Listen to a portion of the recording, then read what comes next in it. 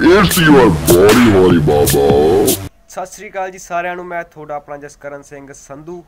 ਸੋ ਲੁਧਿਆਣੇ ਵਾਲੇ ਕਾਂਡ ਬਾਰੇ ਤੁਸੀਂ ਸਭ ਜਾਣਦੇ ਹੋ ਕਿ ਉੱਥੇ ਕੀ ਕੁਝ ਹੋਇਆ ਵਾ ਕਿਵੇਂ ਕੁੜੀ ਨਾਲ ਰੇਪ ਹੋਇਆ ਵਾ ਕੁਝ ਹੈਵਾਨਾਂ ਵੱਲੋਂ।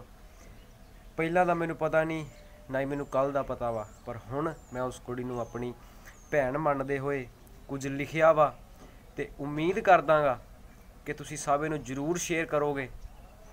ਤੇ ਜੋ ਲੋਕ ਅੱਗੇ ਕਿਸੇ ਨਾਲ ਐਵੇਂ ਕਰਨ ਦੀ ਸੋਚ ਰਹੇ ਨੇ, ਉਹਨਾਂ ਦੀ ਰੂਹ ਕੰਬ ਜਾਊਗੀ।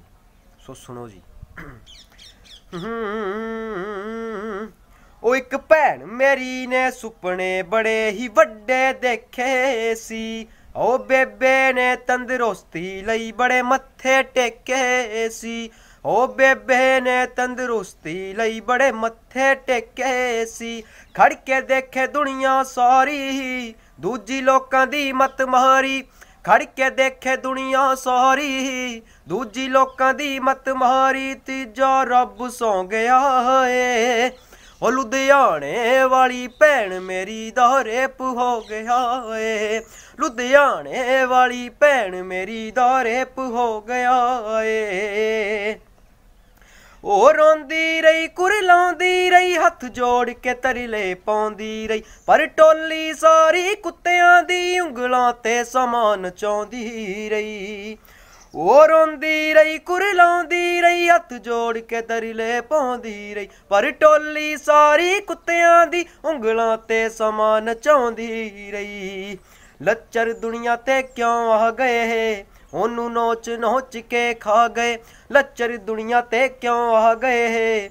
ਉਹਨੂੰ ਨੋਚ ਨੋਚ ਕੇ ਖਾ ਗਏ, ਅੱਖੀ ਹੰਝੂ ਚੋ ਗਿਆ ਏ। ਉਹ ਲੁਧਿਆਣੇ ਵਾਲੀ ਭੈਣ ਮੇਰੀ ਦਾ ਰੇਪ ਹੋ ਗਿਆ ਏ।